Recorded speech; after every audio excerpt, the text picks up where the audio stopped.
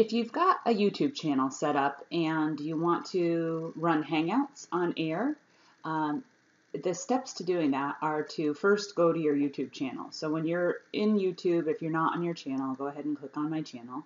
Uh, to get the menu on the left, you can click on uh, the video manager there, and you'll see live streaming. Um, go ahead and, and, click on events. Um, this is where you can enable live streaming.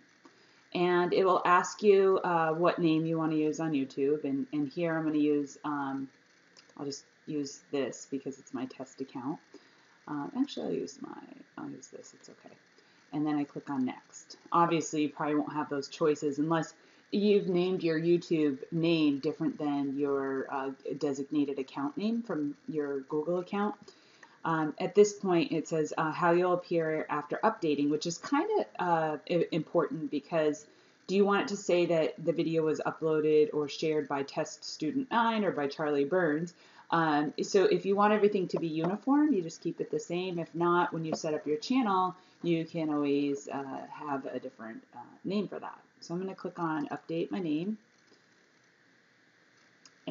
The account verification part is what's important because you have to verify your account. So um, to verify your account, uh, it says how, how do we deliver the code?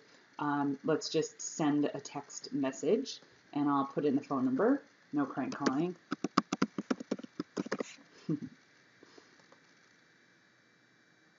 and now I should get a six digit code which comes immediately, which is 245 340 245 340. Oops. And hit submit. Okay, now it says my account is verified and I can agree to the terms and conditions. At this point, I can go ahead and create a live event and I can go live now or I can set it for a different time, okay? And basically at this point, you set it up. Um, so I'll just do Hangout on Google small business. And if I want to have it today, I can. If I want to have it at a later date, I can do that as well. I can add a start and an end time. I can describe it. I can add tags. If you want to stream it, if you want it to be private, uh, you can do that. If you want it to be unlisted, you could do that. You might be doing a recorded webinar with several other colleagues, and you're going to record it on September 10th, so so they know that you're going to be inviting them to a Google Hangout, and you'll run it then. Um, but then you may make it public later. So just think, uh, whatever option you choose, it doesn't have to be permanent. If you're doing it live on air and you want to have a live audience, uh, make sure that you select public, so it'll be that. Then you can create that event. Um, that's basically how you get started. And um, let me just go ahead and click on Create Event.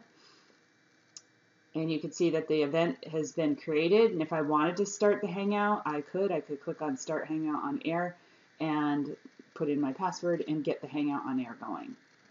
So if you watched my previous video and you got to a point where you were kind of stymied, you might have clicked on Stream Now um, which is a, a different link where you set up your encoding software. To use your Hangouts on air, I just easily go to events and run through the process I just explained. Thanks for watching.